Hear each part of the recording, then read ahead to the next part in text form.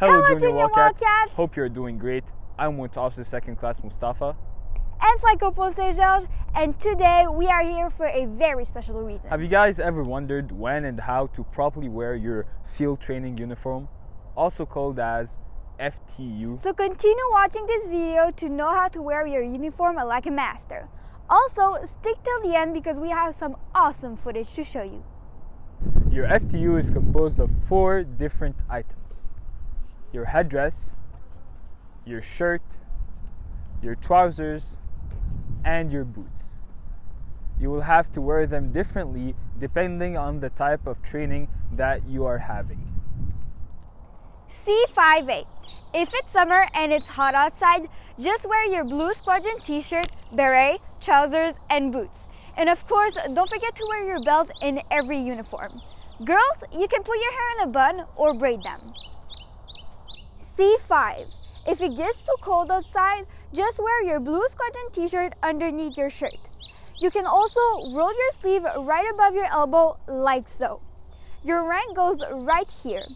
Now, let me introduce you to Corporal Castonguay, who will tell you more about the importance to well wear your beret. Good day, Junior Wildcats. I am Corporal Castonguay, AVN Tech at 438 Squadron, and NCM volunteer with our cadet reporters at 338 Junior Wildcat Squadron. You'll be receiving your FTU soon, so your field training uniform, and the beret is going to be a critical part of that uniform. So I just want to make sure that you guys uh, wear it properly, and uh, so I'm going to show you a bit how it works. First of all, you want to have your badge over your left eye, okay? And then you will want to have this little fold we got here over the top of the cardboard inside. Okay, so that's what we're gonna be looking for. This is pretty much the style that the Air Force usually wears. So that's what we're gonna be expecting from you guys to uh, to do. Should should look about like this. Okay, the proper way to wear it is above your eyebrows. Okay, so not on them and not way back there. Okay, or else you're gonna look like this. I really just wanted to say as well, the importance of uh, wearing your beret properly is the same thing as the rest of your uniform, right? So that's sitting on your head, okay? It's this thing that you form well to sit on your head, and it kind of decides what you look like, okay? As a person wearing a uniform. So keep it going, look sharp, make us proud. If it's summer and hot outside, you wear your C5A blue squadron t-shirt, cap, trousers, and boots.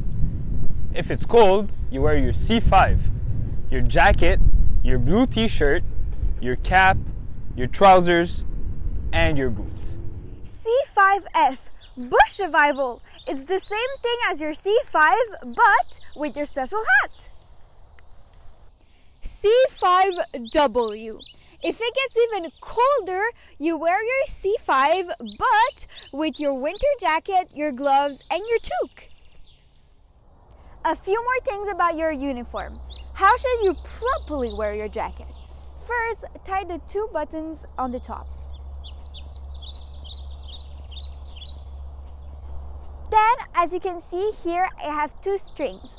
So, what you're gonna do is do a little knot with them and do the bunny ears.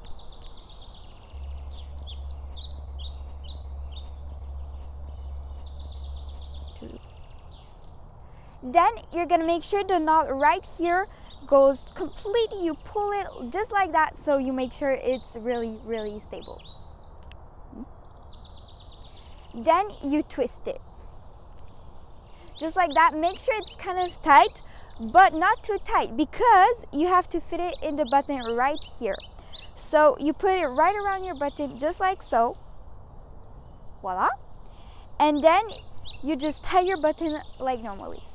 And you do the same thing for this one. And then you're gonna go in the inside of your jacket and go from here to this button right here. And then you just re-put the button like you did for all the other ones. Then you make sure it's all good and voila, you're good to go. How should you properly blouse your trousers? The important thing to know about your trousers is that they have two layers. So the first layer, you're just gonna tuck it in your boots with the shoelace. Then you're gonna take these two strings and just tie it just like that. Just do a little simple knot.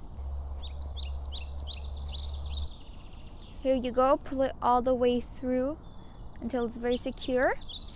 And then you're just gonna blouse your boots, just like that. Don't forget to tuck it in. Put them, shape them like that. And voila, you're all set. Finally, your brand new FTU boots. How should you lace them? Well, the answer is very simple. Herringbone method. Like so. Two things to remember to make it easier when you lace them. First, the lace which is on the top should always point towards the big toe. So, if you look at my left foot, the lace on the top points towards the big toe. Second, the lace are always fed from the top of each eyelet, not underneath. Thank you cadets for watching this video. If you enjoyed it, please follow us on our social medias, Facebook, Instagram, and YouTube. Now here's what the FTU looks like in the field.